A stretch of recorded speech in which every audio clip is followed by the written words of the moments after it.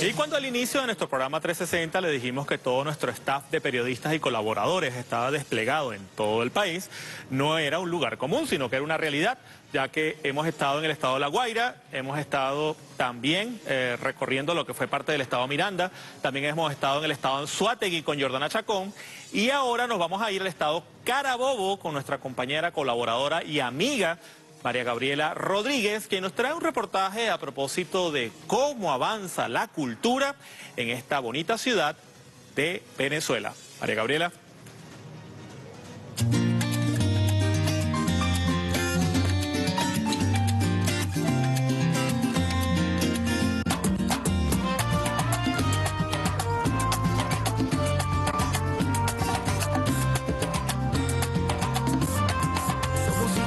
Tierra tan bonita, la que un día en la Lancero se forjó, la que huele a sal y tiene aguas benditas, y en el horizonte historias de pasión.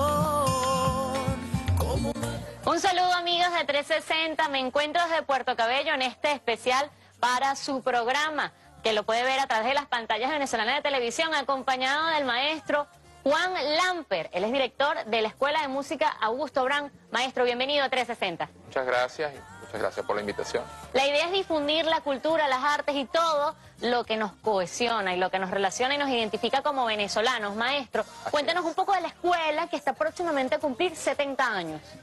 Bien, la Escuela Municipal de Música Augusto Brand, de acá de Puerto Cabello, fue fundada en el año 1951. El maestro fundador fue este, el maestro Ángel Riazuelo Villamón, padre del maestro también director de orquestas, este, muy conocido, este, maestro Riazuelo, que fue director de la Orquesta Sinfónica de Caracas y otras orquestas. Bien, este, maestro en 1951, en, conjunto con, la gobernación en aquella época, se, funda entonces la Escuela Municipal de Música Augusto Brand. Es municipal ahora porque después pasó a, administración del municipio como tal. ¿Y esta escuela cuáles son las disciplinas, se, dice así, de la música que se envuelve? Las especialidades. que desarrolla las especialidades. las especialidades que se desarrollan, bueno, este, digamos, toda la parte del aspecto de las cuerdas, violines, violas, violonchelo, esas cátedras.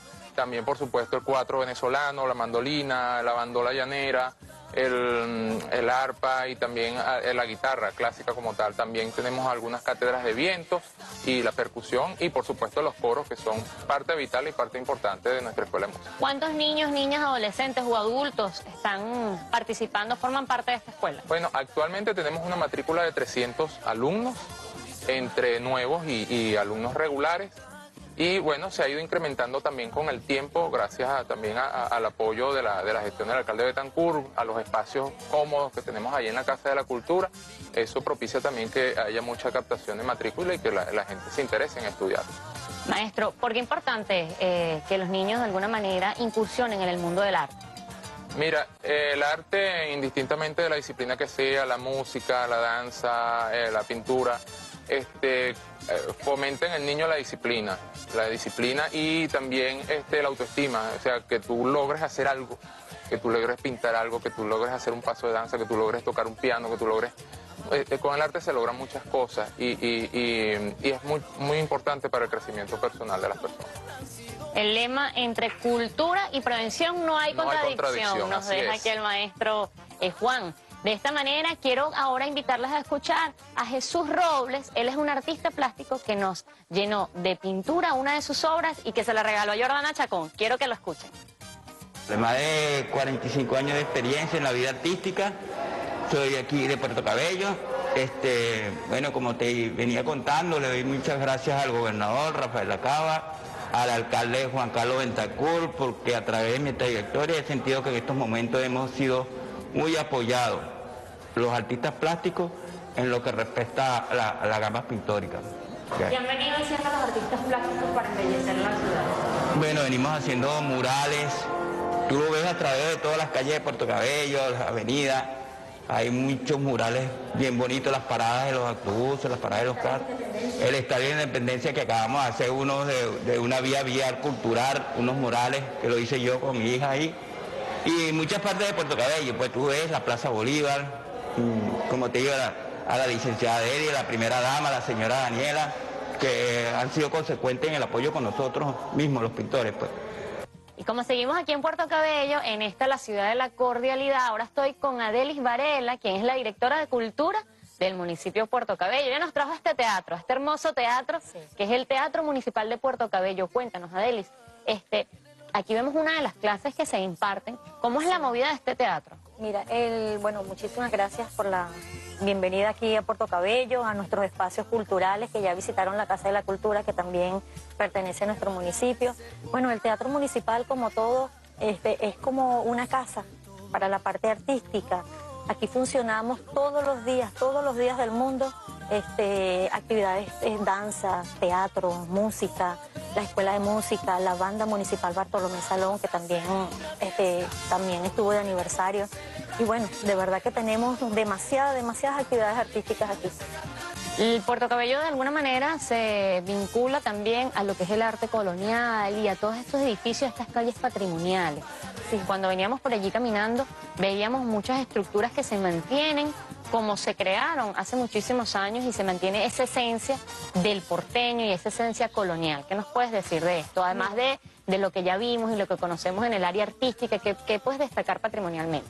Mira, patrimonialmente nosotros este, tratamos de siempre cuidar y preservar nuestras estructuras. De verdad que tenemos una parte en que siempre tenemos esa, esa cultura para los niños, para que cuiden, para que tengan ese amor ese amor que le debemos dar a las actividades culturales y a los patrimonios de nuestro municipio. Puerto Cabello tiene muchísimo, muchísimo patrimonio para que el visitante pueda eh, apreciarlos de verdad. Tenemos la Casa de la Cultura, el teatro, tenemos la Casa Villavicencio, tenemos el Fortín Solano, que también es muy visitado por las personas, el Castillo San Felipe, de verdad que, y la calle Lanceros, que es lo que caracteriza Puerto Cabello. ¿Qué actividades tienen ya para cerrar este año 2021? Bueno, tenemos muchísimas actividades en nuestro espacios y obviamente tenemos la actividad que propicia nuestra primera combatiente María Daniela de un cuento en Navidad.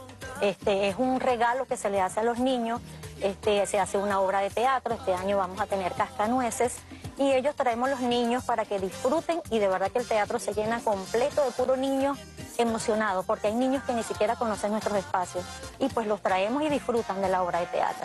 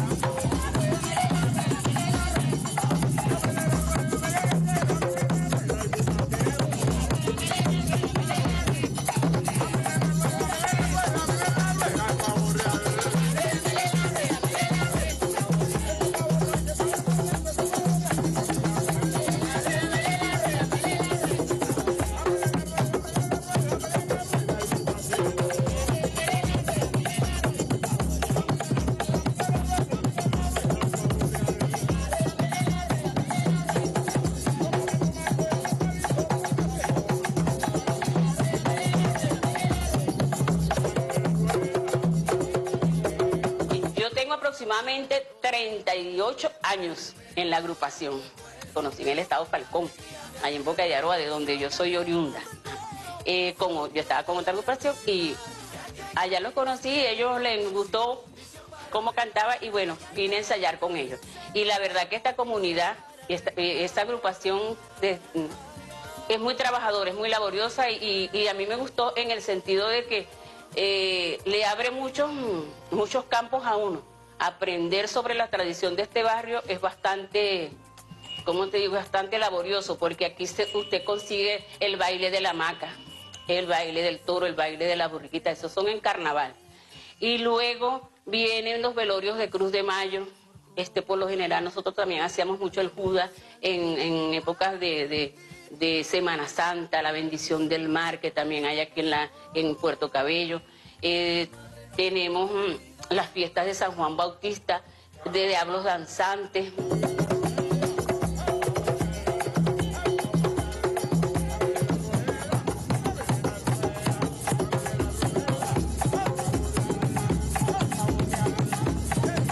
y el repique de tambores de San Millán, nos regresamos al Teatro Municipal de Puerto Cabello, ahora con la señora María Daniela de Betancourt, la primera combatiente que nos va a hablar un poco del esfuerzo gubernamental que se realizó, porque mantener estos espacios se dice fácil, pero no lo es.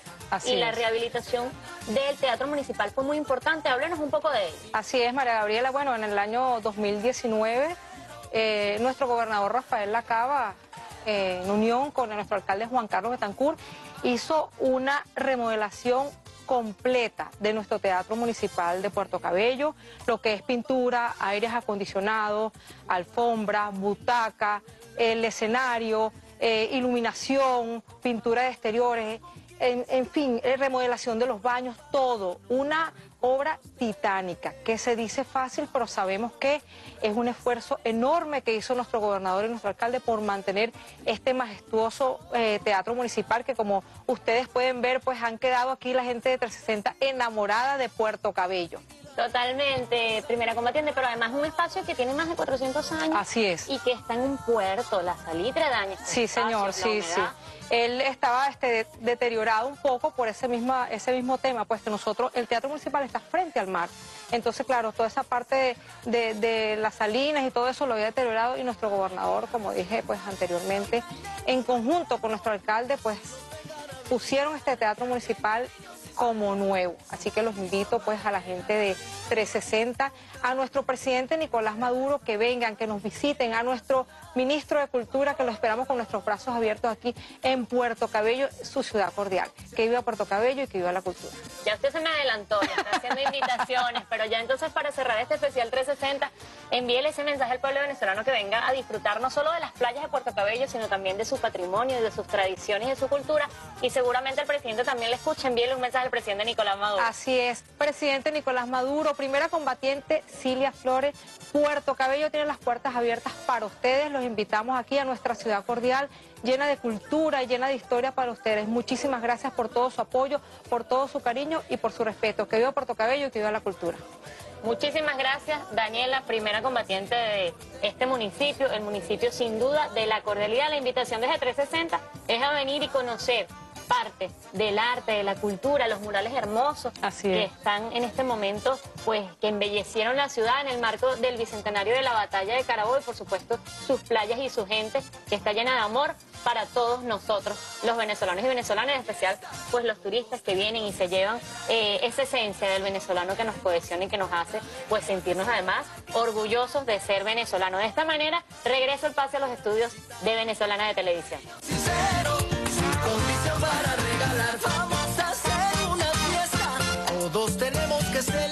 Bueno, gracias a María Gabriela Rodríguez por este excelente reportaje desde Puerto Cabello.